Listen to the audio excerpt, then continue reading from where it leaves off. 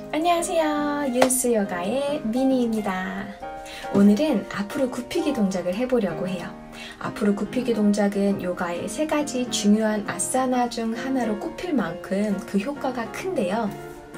앞으로 굽히기 할 때 등 전체와 다리 뒷줄기가 쭉 늘어나죠? 덕분에 등이 오그라들고 무릎이 펴지지 않는 그 대표적인 노화를 막아줌으로써 심신의 활력과 생명력을 되찾아 줍니다. 또한 복부가 깊이 수축했다가 탁 풀어지면서 장의 뭉침, 내장 비만을 해소해 주고요. 허리 통증과 무릎의 관절염 치료에도 효과가 크니까 따라오셔야 되겠죠? 지금부터 시작할게요.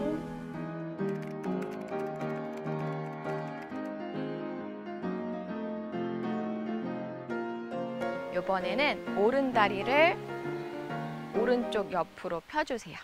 왼 다리는 몸 가까이 당겨 오셔서 좌우 벌어진 각도 맞추어 주시고 골반 풀어지면서 척추까지 같이 풀어지도록 동작해 보려고 해요. 골반 하부 부분을 죽이지 않습니다. 엉덩이 뒤 바닥을 밀어서라도 부드럽게 세워주시고 여기서 왼손을 천장을 향해 쭉 올려주세요. 목 어깨 힘 풀고 내려왔다가 그냥 가볍게 다시 한번 손을 천장을 향해 쭉 올렸다가 몇 번 반복해 볼게요. 왼쪽 옆구리 고관절 허벅지가 늘어납니다. 둘. 또 이렇게 늘려주기 때문에 척추의 측면 마디 마디 마디 마디가 늘어나게 되면서 척추도 같이 풀어질 거예요. 자, 어느 정도 여유가 되신다면 이제는 손끝을 천장에서 어깨를 조금 넘겨서 팔이 귀 옆 가까이 팔을 허벅지에 오른팔을 대주셔도 되지만 엉덩이 옆쪽 바닥을 짚어주셔도 돼요.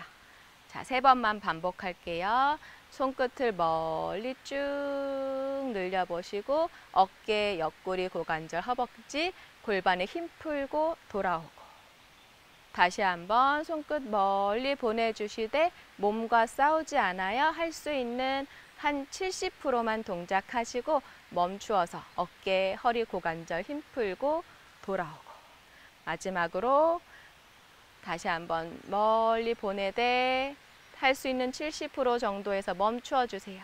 오른쪽 팔꿈치가 바닥에 닿으실 수 있는 분은 살짝 대주셔도 좋고요. 이만큼 안 내려가요 하시는 분은 올라와서 팔꿈치를 허벅지에 대주시고 이렇게 쉬셔도 괜찮습니다. 자, 늘리고 있는 가운데서 이완 호흡 해볼게요. 어깨 겨드랑이에 힘을 풀고 늘어나고 있는 척추의 측면 마디 마디 마디를 마음으로 잘 느끼면서 힘을 마디 마디 마디 마디 마디 저 하부까지 풀어보시고 늘어나고 있는 옆구리 고관절 허벅지 뒤로 엉덩이 장골까지 힘을 풀고 올라옵니다. 반대쪽 바닥 짚고 잠깐 쉬어주세요. 자, 좋아요. 잠시 양손 무릎 위에 얹어주시고 양 어깨에 힘을 툭 떨구고 느껴봅니다. 왼쪽 얼굴선으로부터 목 어깨, 손끝, 겨드랑이를 타고 옆구리 고관절, 허벅지까지, 엉덩이 골반 속까지도 가벼워집니다. 자, 반대쪽 해볼게요. 왼다리, 오른다리만큼 열어주시고, 오른다리는 이제 접어주시고, 거기서 요추, 천추, 꼬리뼈, 골반 하부를 부드럽게 세운 가운데, 자, 오른손 쭉 뻗어주세요. 손 뒤집고 들이마시고, 내쉬면서 오른손 끝을 천장 쪽으로 쭉 늘려줬다가 힘 풀고 돌아옵니다.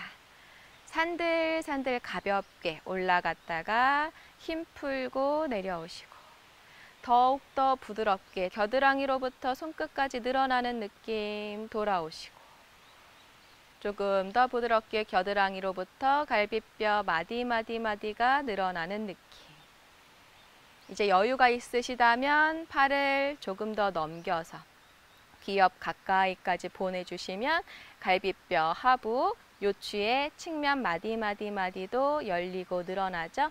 힘 풀고 돌아오시고 골반과 척추, 옆구리, 고관절, 허벅지 그 전체가 부드럽게 늘어나는 걸 느끼고 힘을 풀어줍니다.